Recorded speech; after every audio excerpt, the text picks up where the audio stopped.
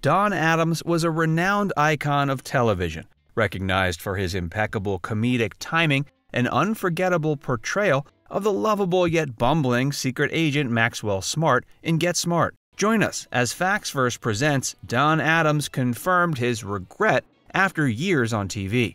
In the bustling metropolis of Manhattan, New York, on April 13, 1923, Donald James Yarmy entered the world, later known professionally as Don Adams.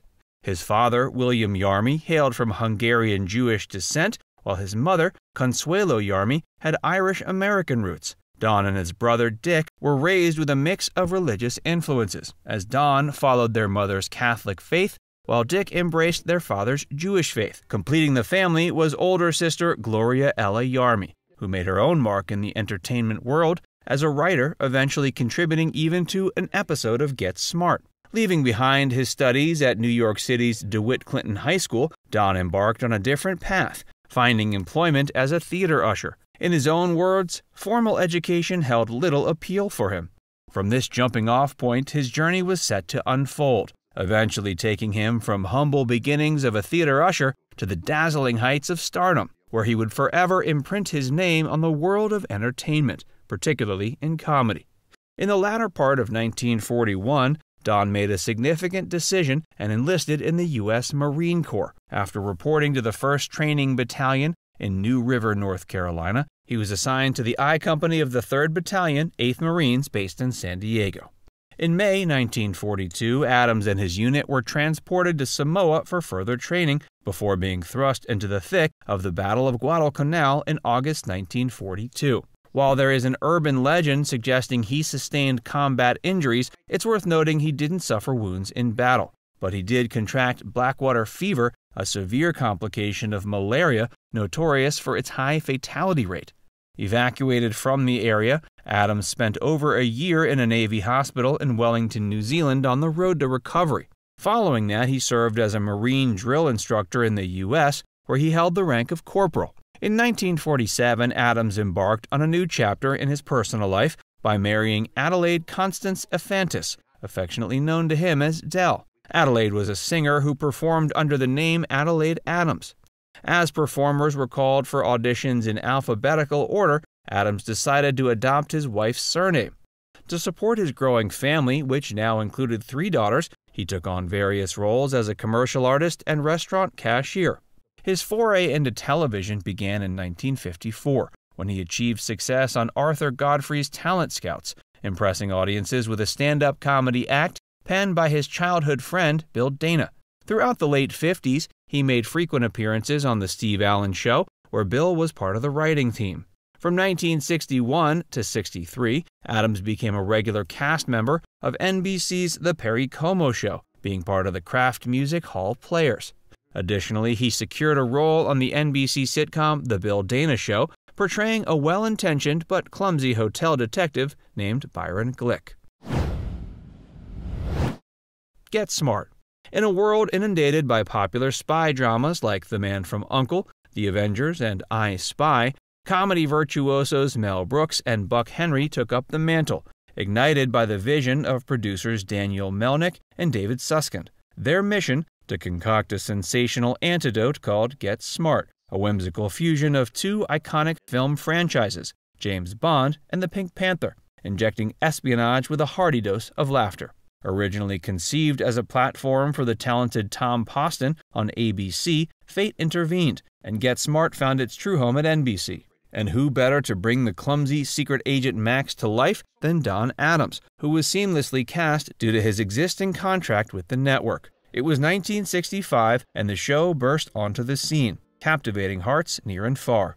Joining Adams in the limelight was the captivating Barbara Feldon, portraying Max's vibrant and alluring partner, Agent 99, who would eventually become his wife. Despite a notable age difference, the on screen chemistry between Adams and Feldon cracked with electricity, fostering a genuine friendship that transcended the show's tenure. With his portrayal of Agent 86, Adams breathed vivacity into the character, channeling the essence of esteemed actor William Powell through a clipped speaking style. Feldon affectionately acknowledged, quote, Don's larger than life depiction of the character made him irresistibly imitable, fueling the widespread enthusiasm for Agent 86.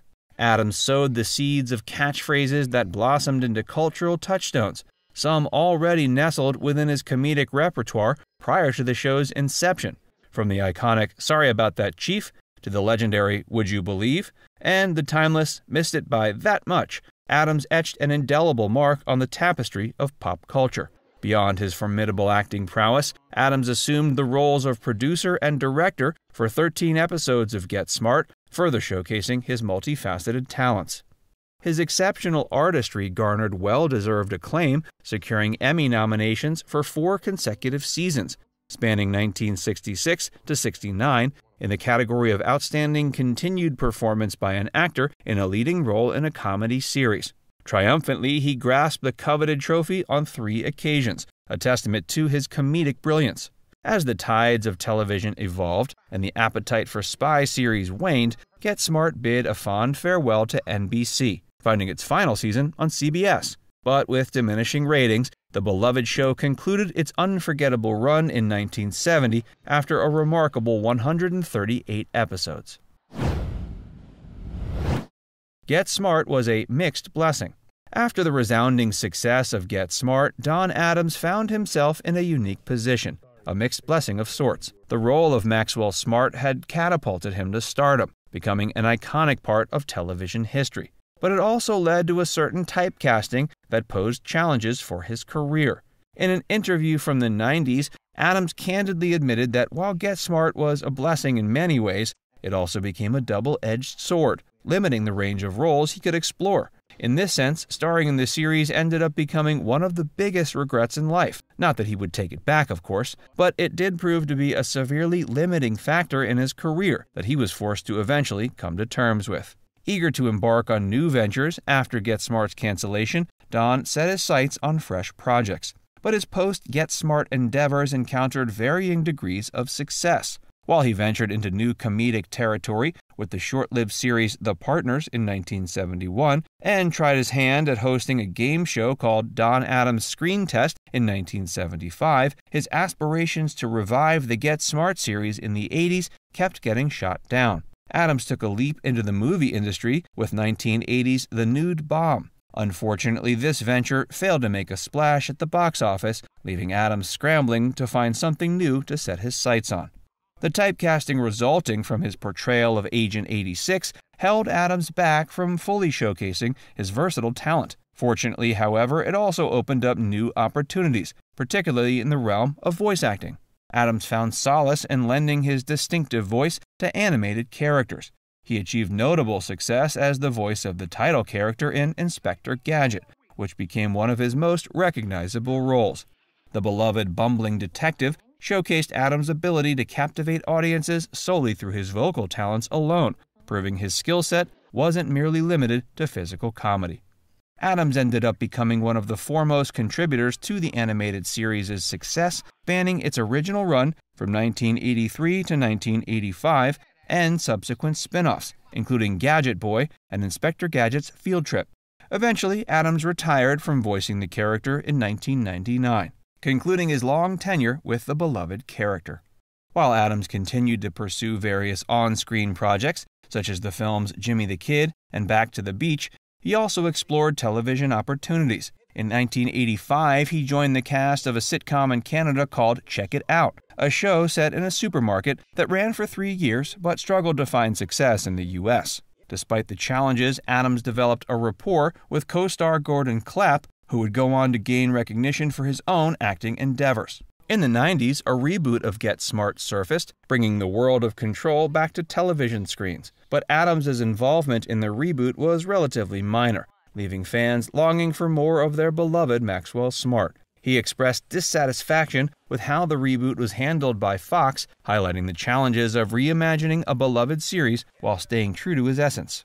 Sadly, September 25, 2005, the world bid farewell to the comedic genius of Don Adams. Adams's legacy extends far beyond the world of Maxwell Smart. He demonstrated his versatility as an actor, comedian, and voice artist, bringing joy to audiences across generations. His unique brand of humor, combined with his impeccable timing, ensured his place in the pantheon of comedy legends. As we reflect on his life and career, let's remember Don with the utmost respect and admiration. He was more than just the iconic Agent 86, he was a consummate performer who left an unforgettable mark on the world of television. Now it's time to hear from you. Did you know Don Adams admitted to regretting his time spent as Agent 86 on Get Smart? Let us know in the comments section below.